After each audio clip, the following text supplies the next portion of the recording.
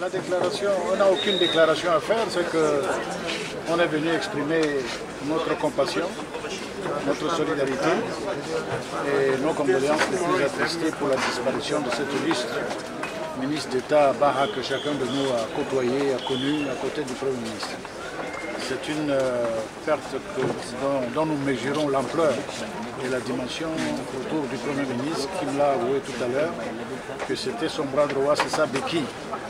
Donc nous sommes tous solidaires et à travers nous, nos chefs d'État, nos gouvernements et notre population, nous sommes tous pays frères du Maroc et c'est l'occasion où plus que jamais nous nous sentons solidaires et nous apportons donc toute notre contribution par la prière, par la pensée C'est tout ce qui nous reste à faire.